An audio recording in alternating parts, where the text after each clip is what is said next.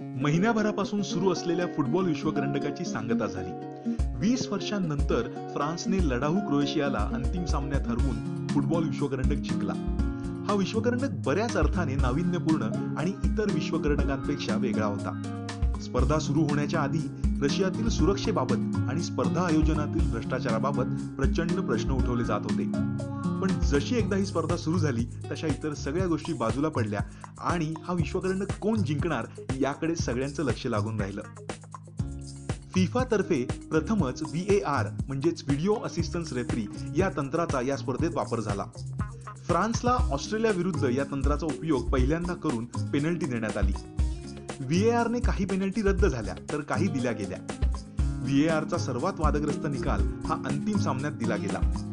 जेव्हा ग्रीसमननं कॉर्नरवरून मारलेला बॉल पेरिसासाच्या हाताला लागला हेतू पुरस्पर चेंडूला हात लावला असं पंचानं व्ही आरद्वारे ठरवलं आणि फ्रान्सला वादग्रस्त पेनल्टी बहाल केली. माजी विश्वविजेते आणि विजेतेपदाचे प्रबळ दावेदार असलेल्या जर्मनीवर गत साखळीतच गारद होण्याची नामुष्की आली. अर्जेंटिनानं प्रचंड निराशाजनक कामगिरी करत कसे बसे बाद फेरीपर्यंत पोहोचले पण नंतर मात्र फ्रान्स समोर त्यांचा निभाव लागला नाही. स्पेनचा संघ चांगली कामगिरी करत असतानाच रशियाकडून पेनल्टी शूटआउटमध्ये हरला. युरोपातील क्लबकडून खेळताना खोऱ्याने गोल करणारे हे खेळाडू देशाकडून खेळताना मात्र साफ अपयशी ठरले. केवळ काही चांगल्या खेळाडूंमुळे मोठी स्पर्धा जिंकता येत नाही तर त्यासाठी पूर्ण संघानं चांगली कामगिरी करावी लागते हे मेस्सी रोनाल्डो आणि नेमार यांच्या देशांच्या अपयशामुळे आणखी एकदा सिद्ध झालं. संघ अपयशी असताना आईसलँड क्रोएशिया स्वित्झर्लंड जपान यासारख्या कमी लोकसंख्येच्या देशांनी या विश्वचषकात चांगली कामगिरी केली. मेस्सीच्या अर्जेंटिनाला रोखत आईसलँडने कमाल केली तर क्रोएशिया पहिल्यांदाच अंतिम सामन्यात पोहोचला. जपानने चांगला खेळ करत पाच सामन्यांपर्यंत मजल मारली. बेल्जियम विरुद्ध ते दोन शून्य अशा आघाडीवर असताना सामना हरले. या स्पर्धेत सर्वाधिक प्रभावित केलं ते क्रोएशिया इंग्लंड आणि रशियाच्या संघांनी.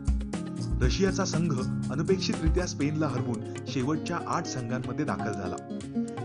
ही रशियाच्या संघाची विश्वचषकातली आतापर्यंत सर्वात चांगली कामगिरी आहे. तर क्रोएशिया पहिल्यांदाच अंतिम फेरीत पोहोचला. स्पर्धेत तीन वेळा क्रोएशियानं पिछाडीवरून सामना जिंकला.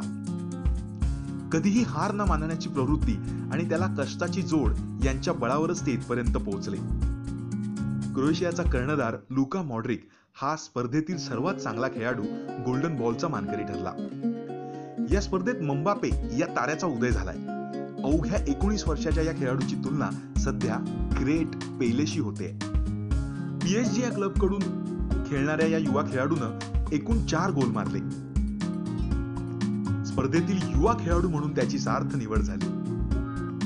फ्रान्सचा कर्णधार ह्युगो लॉरिस याने गोल्डन ग्लो मिळवण्याची सुवर्ण संधी वाया घालवली. अंतिम सामन्यात त्याच्या चुकीमुळं क्रोएशियानं दुसरा गोल मारला आणि गोल्डन ग्लो हा बेल्जियमच्या थिबोट कार्टोइस याला मिळाला. चोवीस वर्षाचा असलेला इंग्लंडचा नौखा कर्णधार हॅरी केन याने स्पर्धेत सहा गोल मारत स्पर्धेवर ठसा उमटवलाय. इंग्लंडकडून कोणालाही या स्पर्धेत अपेक्षा नव्हती. अत्यंत युवा असलेल्या या संघानं इंग्लंडच्या लोकांची राष्ट्रभावना जागवली.